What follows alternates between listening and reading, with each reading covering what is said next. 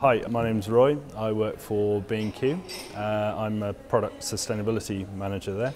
Uh, B&Q is part of the, the Kingfisher Group. Kingfisher is the biggest DIY uh, do-it-yourself uh, retailer in Europe. Uh, B&Q is, is, is part of that business. We operate in, in the UK and, and Ireland. Uh, we sell about in excess of 40,000 different product lines. Uh, we have about 3 million customers a week. So, so what is it like when you go into a B&Q store? We, we have a, a wide range of products. They divide into four basic categories. One is building materials like bricks and cement. The other one is uh, decorate, decorating products like uh, paint and wallpaper.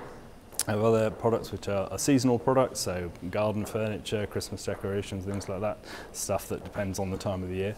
Uh, and, the, and the final one is, is showroom products, which are you know, new kitchens. So we, we do have a kitchens installation service, for example. As part of our larger, wider sustainability strategy, we have a number of strands throughout the business, um, a number of work streams. Um, one of them is, is healthy homes, and that's where the, the, the chemicals policy fits in. One of the big things for B&Q is, uh, is all of our products end, end up in people's homes. And it's increasingly important for uh, products that go into people's homes to um, be free of problematic chemicals. Uh, the reason is is that for uh, reasons of, of, climate change, for reasons of energy uh, prices and uncertainty, that a lot of people are insulating, draft proofing, and generally sealing their homes. Uh, so it's even more important that what you put in your home won't adversely affect your health. Uh, so it's an integral part of that providing our customers with a healthy home. B&Q started uh, worrying about chemicals about uh, 10 years ago, something like that, when we put together a list of things that uh, products that uh, chemicals that we didn't like to see in the products that, that we sold. And it's evolved over time because of changes in, in legislation, for example, the advent of, of REACH and changes in biocides and, and uh, plant protection products regulations. We, uh, we've adopted a number of approaches o- over that time. Um, uh, the first approach was to have a big list of chemicals and say to our suppliers, don't use that, these. But um, that didn't really work, uh, at least not to our degree of, uh, uh weren't overly, completely satisfied with the end result, should I put it that way. Um, the reason is is that a lot of a lot of our suppliers are not suppliers of chemical products; they're suppliers of, of articles of, of you know everything from sort of Christmas trees to sort of uh, kitchens to sort of bricks, uh, and a lot of those companies don't really realise that they're um, handling products that are have origins in the chemical industry. So for them, uh, when you present them with a list of chemicals, they they think it doesn't apply to them.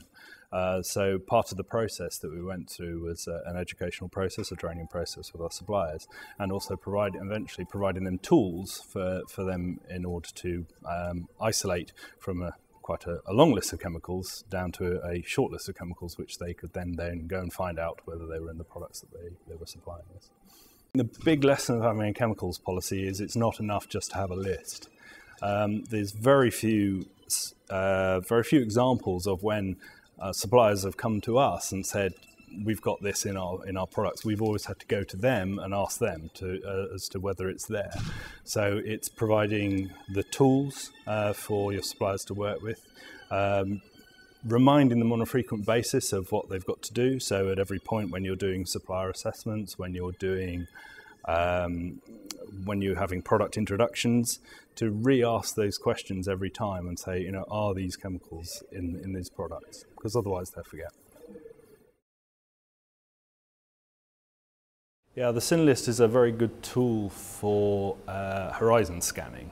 Um, it's, it takes me and B&Q up a couple of levels in the Donald Rumsfeld ladder of uncertainty, if I can put it that way, in the sense that you start at the bottom with a load of unknown unknowns, and without the, without the SIN list, uh, I think we'd probably be in that situation. Whereas with the, with the SIN list, at least eliminate one of, at least one of the unknowns, which is what chemicals we should be worried about, and also helps with the, the second unknown, which is, well, where should we be looking for them then?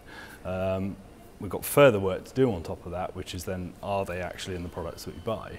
Uh, but at least we know where to start, what chemicals we're looking for, and where and in what region, and what sort of product type that we should be looking for.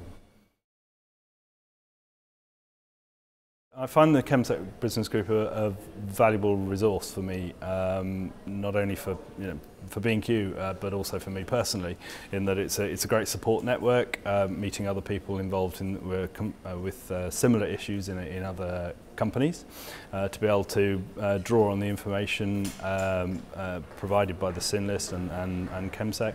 So those, those, are, those are the main uh, benefits I get, I get from it. What can other actors help us with? Um, first of all, it would be really good if our supply chain will be, would be feeding us this information about chemicals in the products that uh, they sell to us instead of us having to go and find out.